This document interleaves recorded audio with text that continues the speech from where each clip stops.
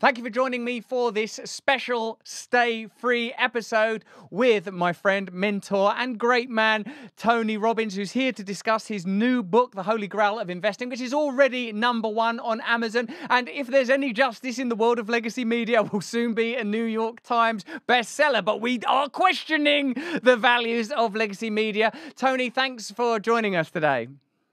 So good to see you, brother. Nice to see you. Tony, is this book about dem- democratizing the process of investing and making investing information that was previously clandestine accessible to ordinary investors so that we might take advantage of some of the principles that some of the wealthiest people in the world have been able to, up till now, exploit? That's that's absolutely right. I, have been very frustrated. You know, I wrote a book in right after the financial crisis. I, hadn't written a book in 20 years, but I was so angry, and I know the people in the financial industry and saw the level of abuse. And my question was, you know, is the game still winnable?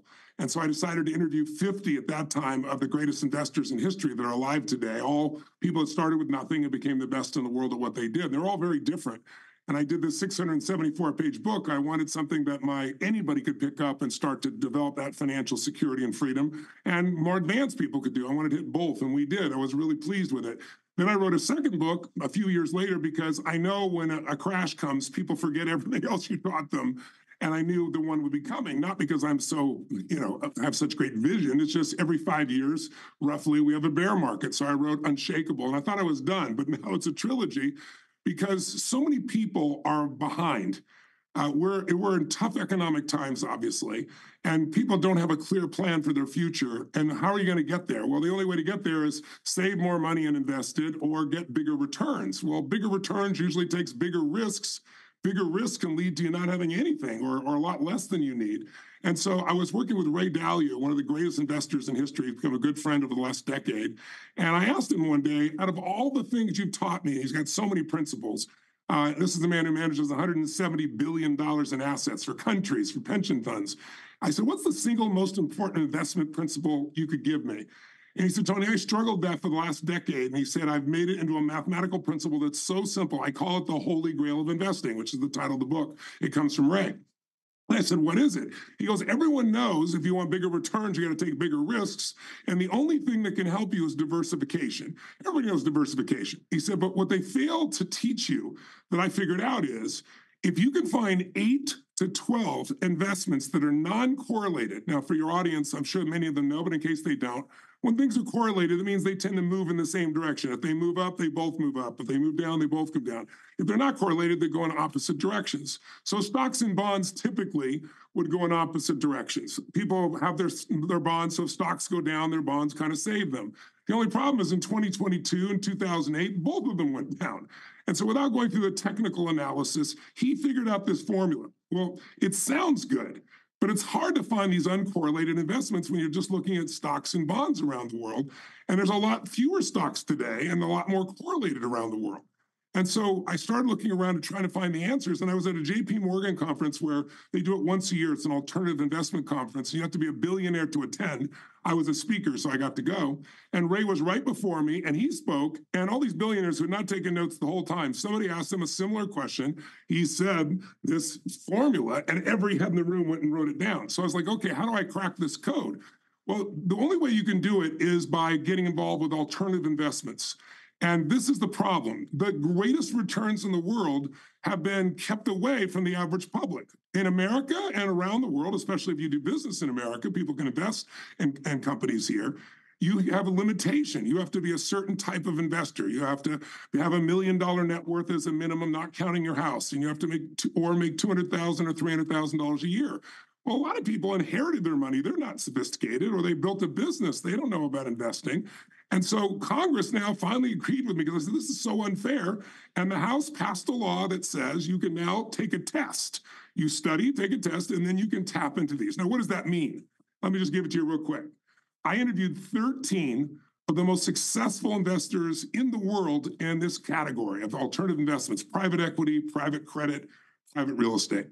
And these are people that manage 20 to 100 billion dollar funds.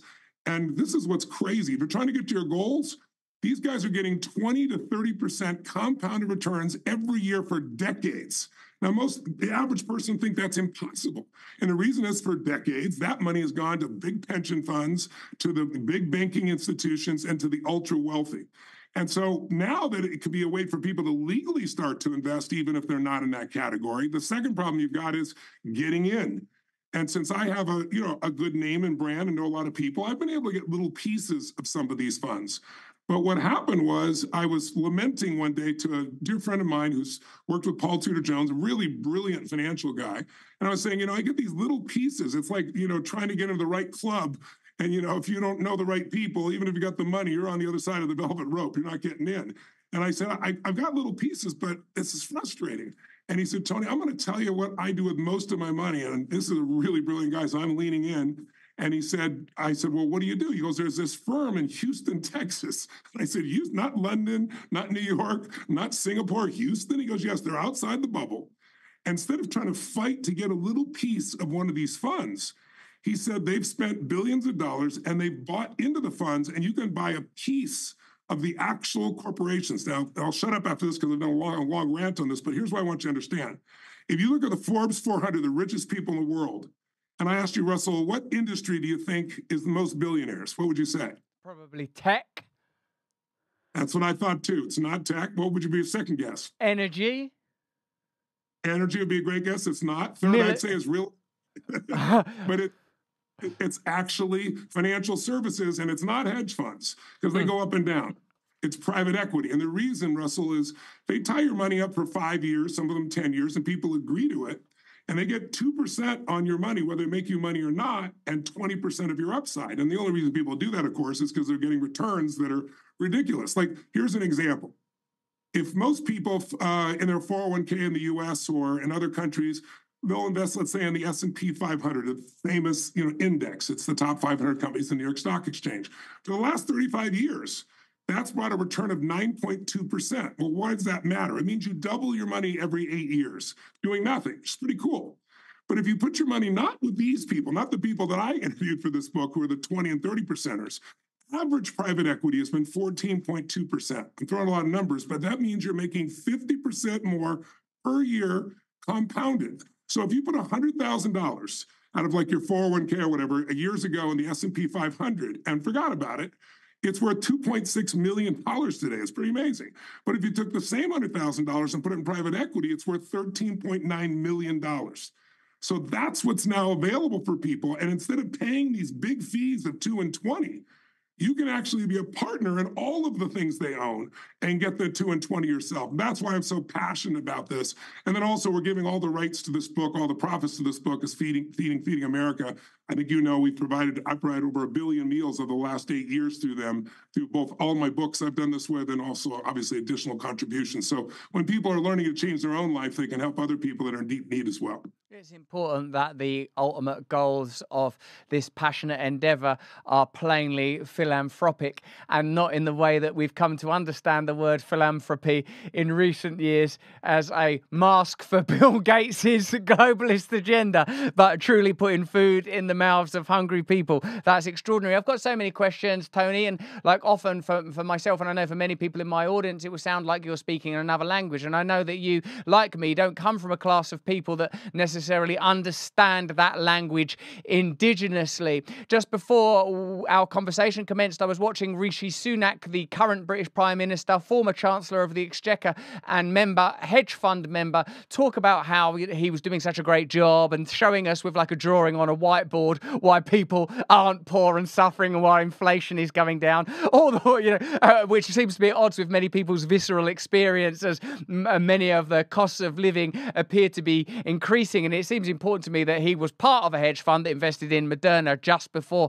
the pandemic crisis. I'm not suggesting anything uh, malfeasant, of course, simply the kind of luck that seems to prevail in those circles. Indeed, the type of luck that Nancy Pelosi and her husband Paul Pelosi simply have become global masterminds in. It's already sort of common, uh, commonly understood that if you were to just invest in what Nancy Pelosi invests in, you would be beating some of the world's hedge, best hedge funds. But you're saying that now, through democratizing these techniques, we don't have to simply make uh, Nancy Pelosi our spirit guide. We can ourselves invest in a way that will provide us with a, a great return. Uh, one, one of my questions, uh, Tony, is uh, if you are democratizing these principles and making them accessible to a wide number of people, won't that in itself influence uh, financial outcomes and diversify the number of people and somehow dilute the impact? Or is that a rookie error I'm making?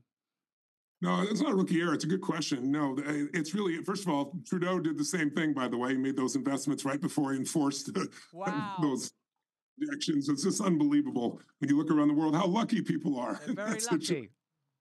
very lucky. But no, uh, the reason is, you know, it's interesting. Part of what the challenge is and why things get overvalued is because for years we've had these artificially low interest rates. And so the only place to put your money was in the stock market, which is risky. But so more and more money chasing the same small number of stocks. So think of that's what inflation is.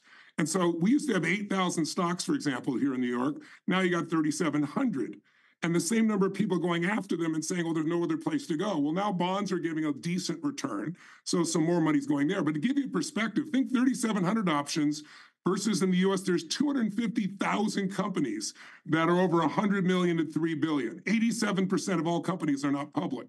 So what private equity does is they know a category. I'll give you an example. There's a gentleman named Robert Smith of Vista. He starts with nothing. He's an incredible human being. He's rated the, one of the top 50 business minds of this century. Started with nothing, built this $100 billion fund. And I can't tell you the exact number because you have to have his prospectus, but let me just make it clear. It's way more than 20% compounded a year for 26 straight years.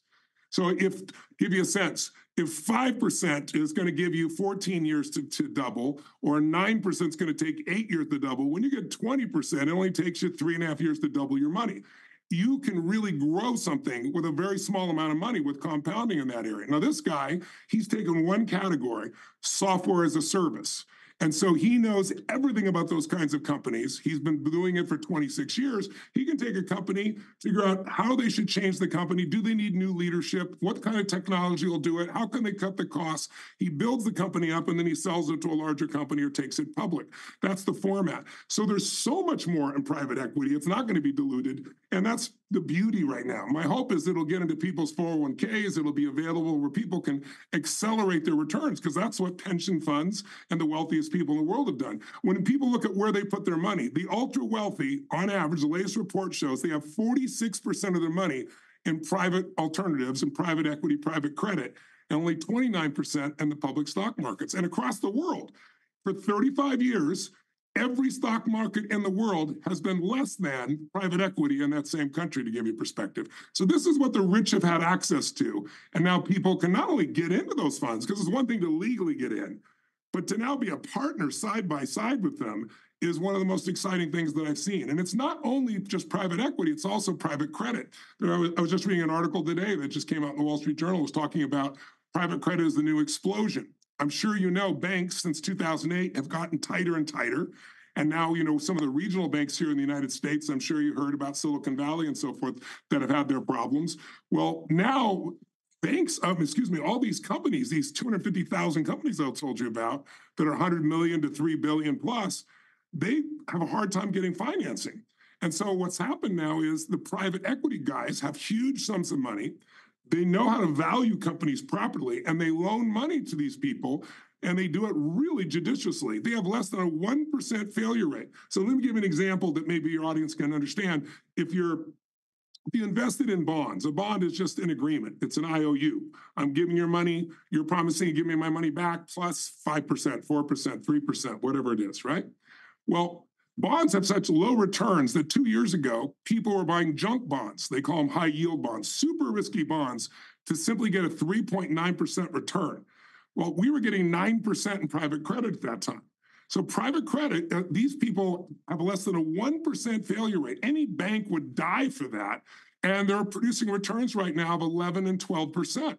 You know, if you have a mortgage and it was locked at 3%, you're happy right now. But, you know, with interest rates rising, if you didn't lock it down, you're paying two and a half or three times more money for the same house. Well, that's called a floating rate. Well, the floating rates on banks, excuse me, on, on private equity loans or private credit loans, they float. So things that were five or 6% are now 10 and 12% and there's no more risk than there was before. And those are the types of returns people typically get from equity, from investing in the stock market if it goes well. So there's some really interesting opportunities happening there. And there's opportunities to actually, believe it or not, to own sports teams, which no one but multi-billionaires could do before. So, in a way, what you're saying that this book, uh, the Holy Grail, your uh, newest book, number one on Amazon, affords the opportunity for small investors to invest in a way that was previously not only impossible but actually illegal, and it's more likely to give higher yields than other forms of investment.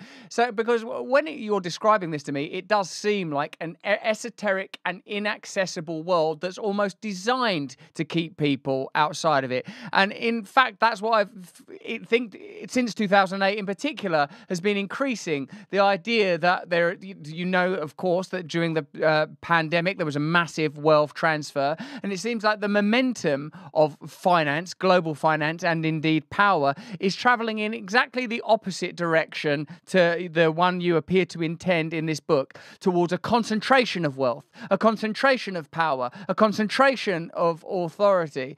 But what you are saying saying is is that opportunities exist for people that are investing much smaller sums of money. We're talking about ordinary people, I guess, to get significant returns. And it, this is something that's that even I would understand. That's is that right, Tony?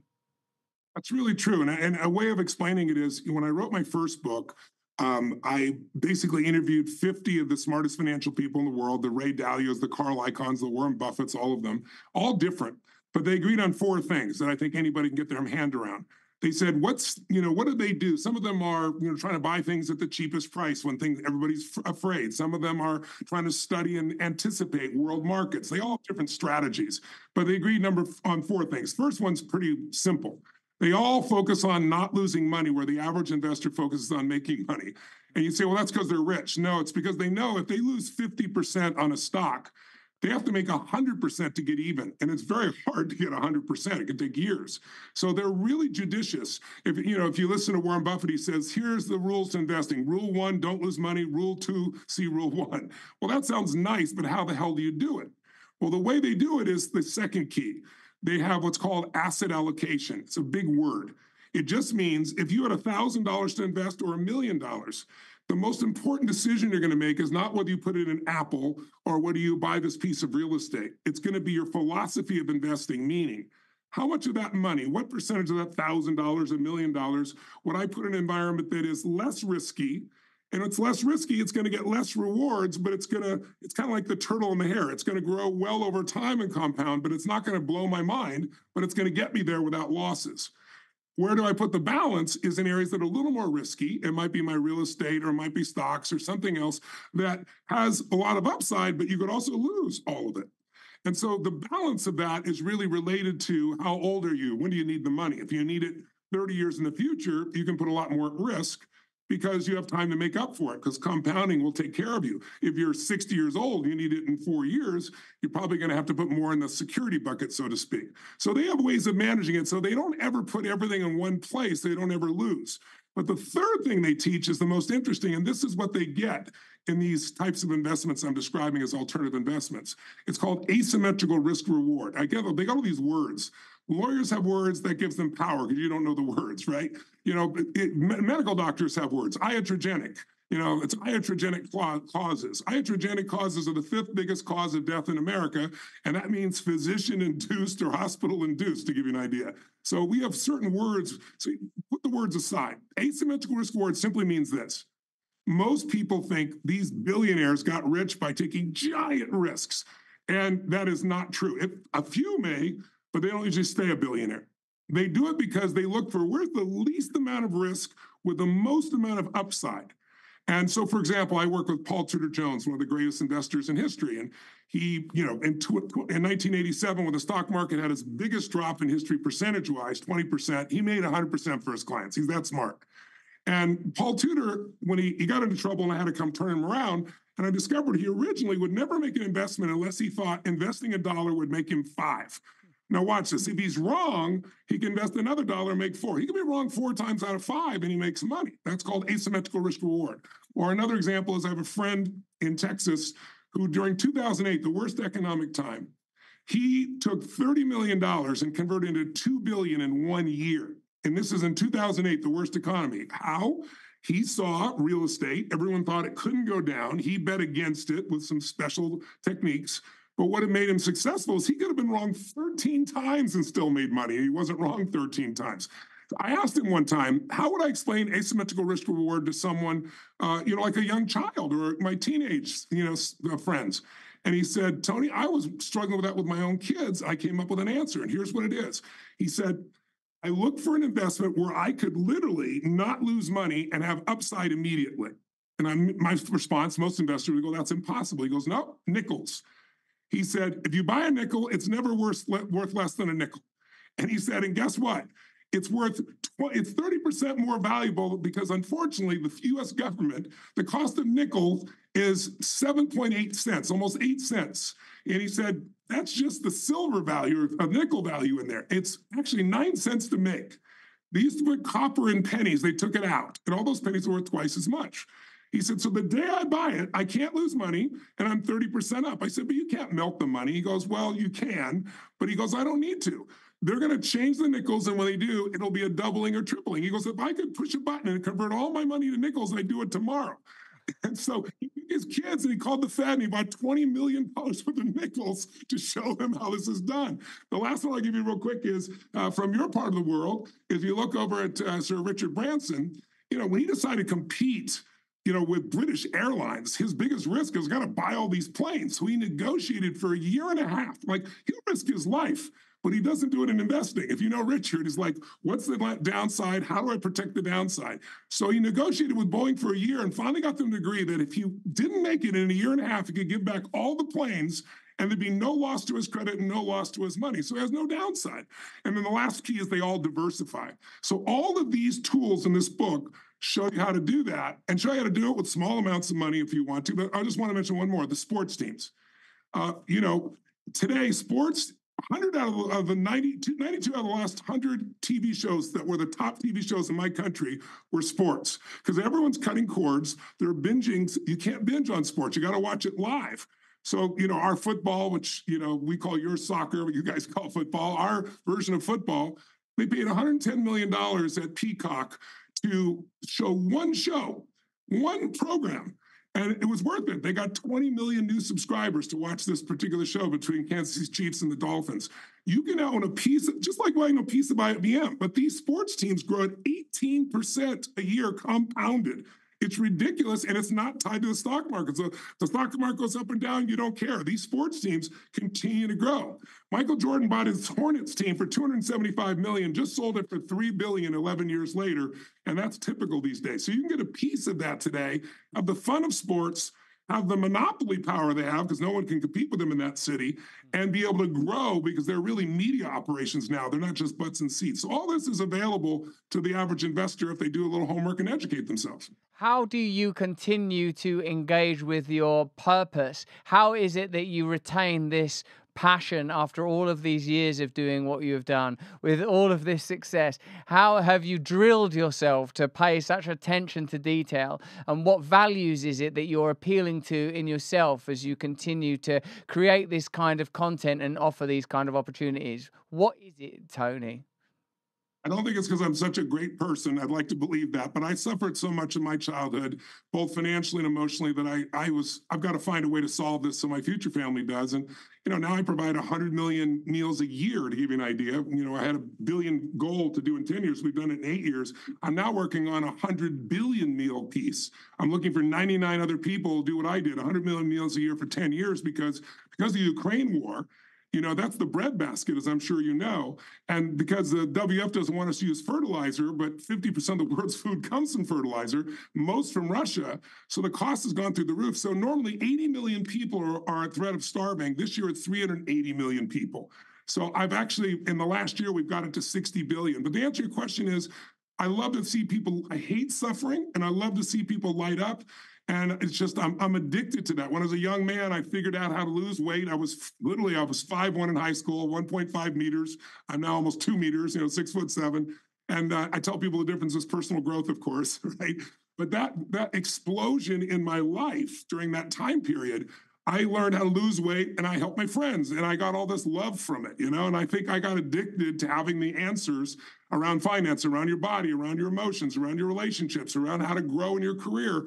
And so I've been obsessing on that for this is my 47th year. I started when I was three, of course. So, so of course, I'm still driven by it. It's so fulfilling, Russell. Same reason you do. I mean, I love your passion and your willingness to go out there and put yourself on the line, plus your ability to just make people laugh about shit that would normally overwhelm people completely. So I'm grateful for your messages, brother. Thank you very much, Tony. Well, I'm taking a radical departure from my previous career trajectory. It's investment now that interests me. I'll be spending all of my time looking for unique financial opportunities. If we can get ahead of even the Pelosi's with this simple holy grail technique, then I'm up for it. If we can get ahead of the globalists like Trudeau and Rishi Sunak, then it's certainly the book for me. Tony, thank you for making time for us today and for explaining so eloquently and yet simply these complex ideas. I'm going to read your book. I appreciate your time. Thank you. Thank you so much. Blessings to you. I love you, Tony. Thanks, man.